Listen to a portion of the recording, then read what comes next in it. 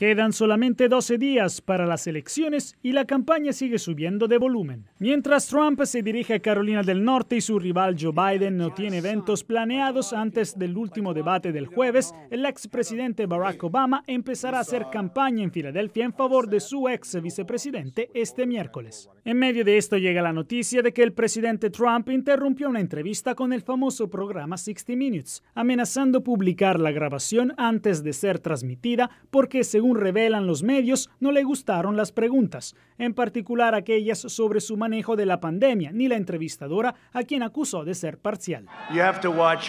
Oh, y tienen que mirar, tienen que mirar lo que hacemos con 60 Minutes. Les va a divertir, les va a encantar.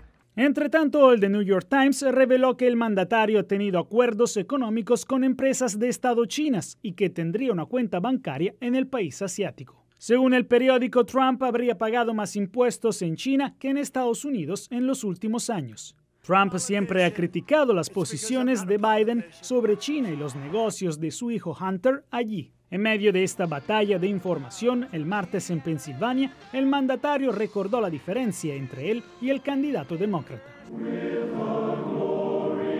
También está en el tapete el tema de los correos encontrados en la computadora del hijo de Biden, que el periódico The New York Post publicó, planteando dudas sobre el posible involucramiento del candidato en los negocios del hijo.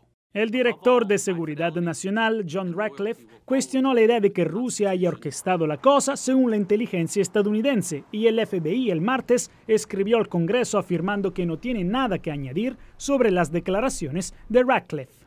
Mientras tanto, los demócratas, el mismo Biden y muchos exfuncionarios de inteligencia cuestionaron la credibilidad de los correos, indicando que podría ser una nueva campaña de desinformación rusa. Lo que parece seguro es que hasta ahora los otros medios, a excepción del New York Post, no han podido verificar la autenticidad de estos mensajes.